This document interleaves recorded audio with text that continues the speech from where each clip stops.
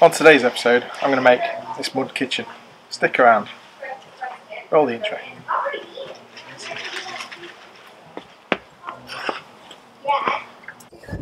Hi, I'm Shaun. Welcome to Shaun in the Shed.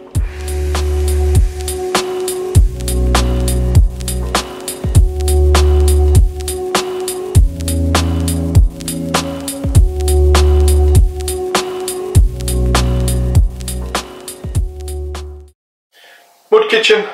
Going to use some treated timber that's up on the wood rack. It's from an old project. I think it's actually from the um, hammock. You know, the garden hammock we made. So it's um, some 4x2. So I'm going to pull it down off the off the racking now and get it uh, ripped down.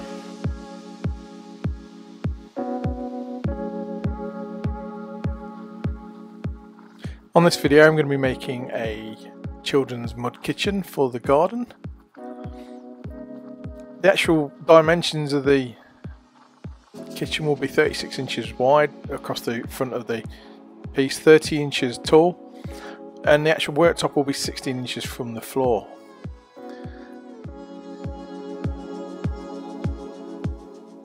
I squared off the sides of the 4x2 and then split it down the centre to give me two roughly 2x2 pieces of treated timber.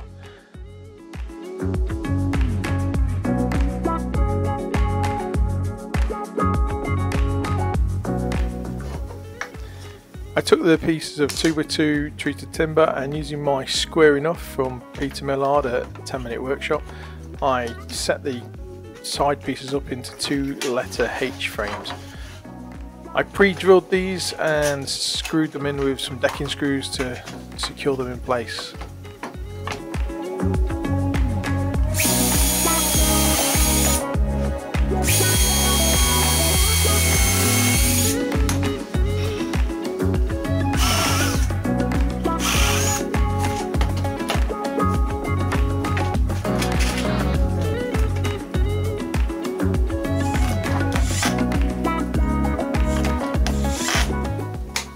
Think if I was to make uh, any more of these, I'd probably create myself a little jig to set the legs and the cross member pieces into instead of having to play around with my clamps all the time.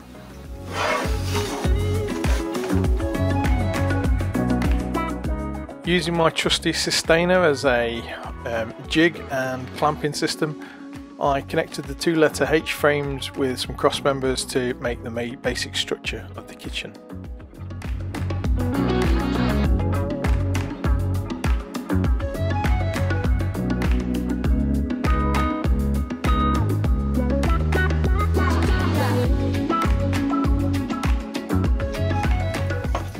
I ripped one of my 2x2 pieces in half to allow me to just add two face pieces to allow the shelf to sit on for the base.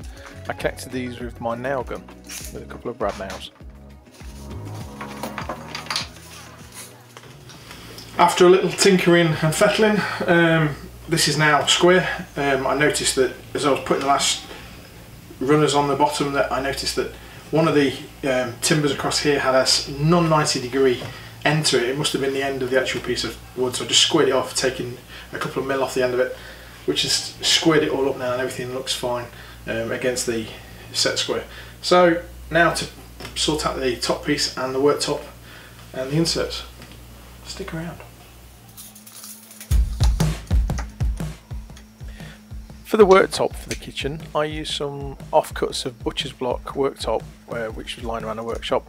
So it's seen better days, it's had a bit of warping here and there, so cutting this down to a 36 inch piece for a children's mud kitchen seemed like a good idea.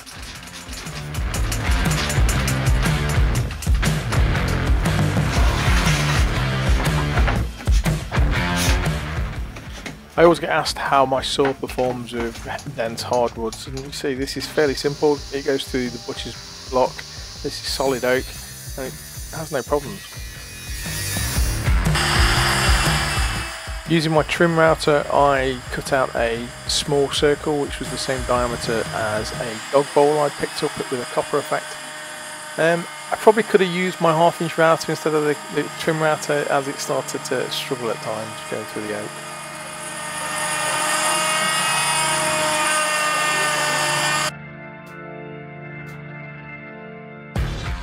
The kitchen frame itself I used some Ronseal Faint paint in a, a lovely sage.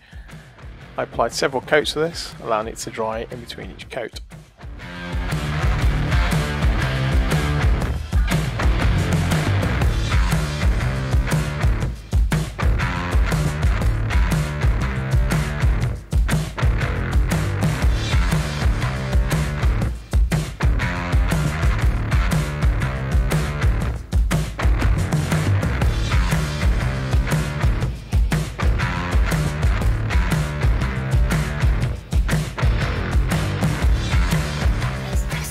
Time to cut some more circles out using the trusty old jig, which has seen better days. This time we're cutting some uh, half inch ply. This is just to make the cooker hobs. So I cut out two large and two smaller ones. This will be for the, the little uh, cooker effect on top of the worktop.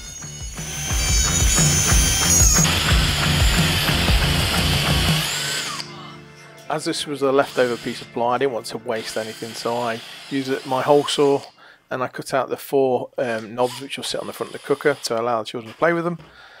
I put all four knobs on a drill bit and using a piece of sandpaper and my Action Man Kung Fu grip I decided to sand them all off in one go, try not to burn my hand with the friction.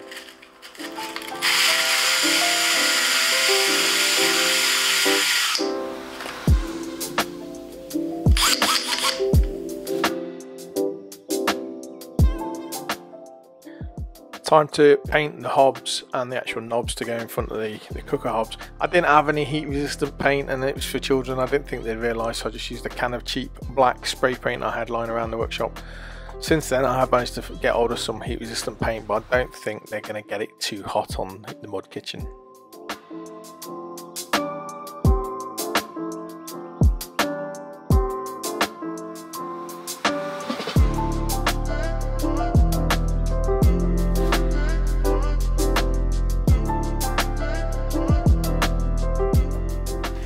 I've attached the butcher's block wood uh, worktop piece with some um, decking screws from underneath so they're nice and flush inside. The back piece and the shelf on the bottom are both pieces of pallet boarding which I've sanded down uh, to about 100 grit on all sides. Put three pieces across the bottom as a nice simple shelf and at the back just a backboard made of the four pieces and they've all been uh, nailed on with the nail gun. Um, nothing too fancy there. I've attached the, the cooker with um, four screws into the worktop and then utilising the, the actual hob rings I've used some contact adhesive to cover the um, screw holes up with so they're now in place so you can't see them. The cooker knobs are offcuts of plywood which I've uh, cut small circles out with and I've attached them with some pocket hole screws um, because they're nice, nicely domed and silver and it just gives them a different look and feel on the front.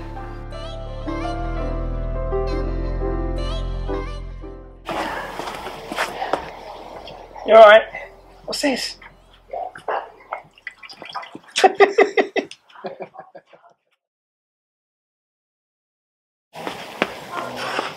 yeah. So Tommie, do you like it? Do you like the kitchen? Is it nice?